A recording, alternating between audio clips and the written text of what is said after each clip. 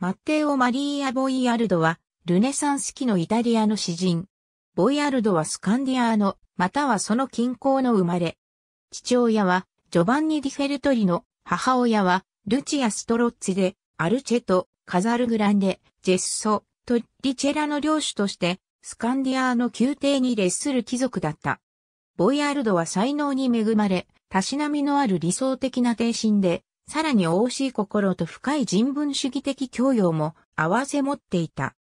1472年、ノベンラーラ伯の娘、タテア・ゴンザーガと結婚。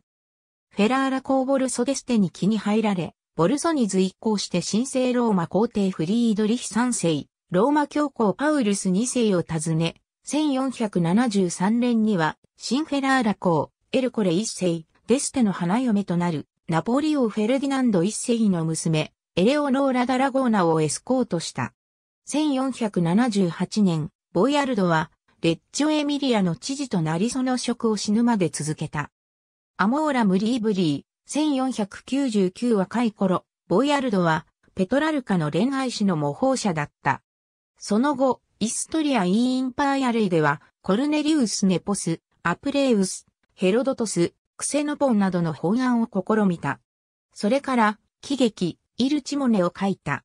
しかし、ボイアルドの名を今に残す作品といえば、やはり、壮大な騎士道物語の詩、恋するオルランドであろう。1499年に書いたライムは長く忘れられていたが、1835年になってイタリア生まれのイングランドの司書アントニオ・パニッツが出版したことで復活した。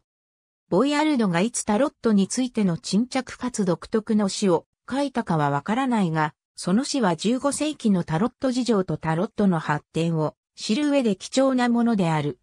おそらくボイアルドの死後間もなく作られたであろう。その詩に基づいた一組のタロットは一部が現存している。ありがとうございます。